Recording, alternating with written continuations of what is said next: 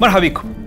حلقة جديدة من من هو المجرم اللي باش نتعرضوا له الجمعة هذه في ولد ليقتل.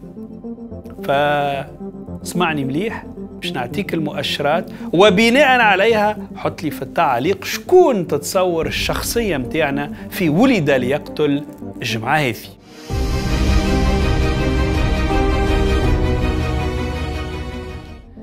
الشخصية اللي نحكيو عليها باش تهزنا لبريطانيا. وباش ترجع بينا لأواخر الستينات. شخصية مثيرة الحقيقة. على خاطر باش تقعد رغم اللي الجرائم الأولى متاعها باش تعمل في ظرف عام باش تختفي عن الأنظار قرابة 30 سنة أو أكثر.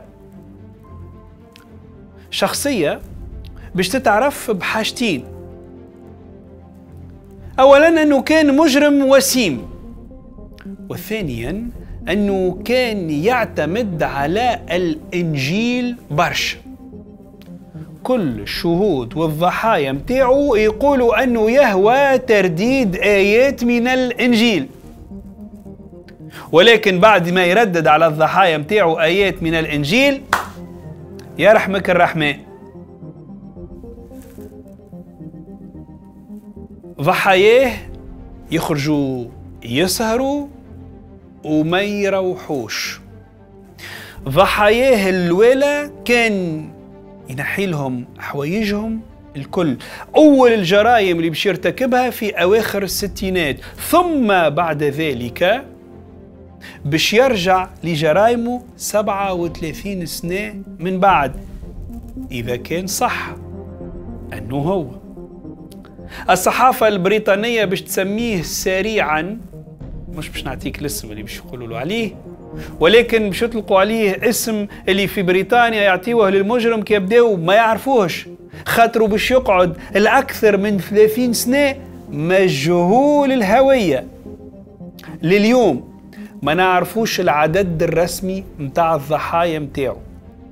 شنو الموبيل اللي يخليه يقوم بجرائمه المعطيات الوحيدة المتوفرة تقول أنه كان يعتبر هالسيدات هذوما آه، خارجين على الملة. وبالتالي كان يحب يعاقبهم لأنهم فاسدات يعملوا في حاجات اللي ما قالش عليها الإنجيل. فعلى شكون باش نحكي لكم الجمعة هذه في ولد ليقتل؟ هذه الاحتمالات. باش نحكيو على بيتر شاتكليف وإلا باش نحكيو على بيتر توبين وإلا باش نحكيو على ستيف رايت. نعاود. بيتر ساتكليف وإلا بيتر توبين وإلا ستيف رايت. وربما على حتى واحد منهم. تو تفهمني كي تتفرج في الحلقة. موعدنا في حلقة الجمعة هذه من ولد ليقتل. نستنى التعليق متاعك باش تقولي شكون الشخصية حسب رأيك اللي نحكيو عليها الجمعة هذه. إلى اللقاء.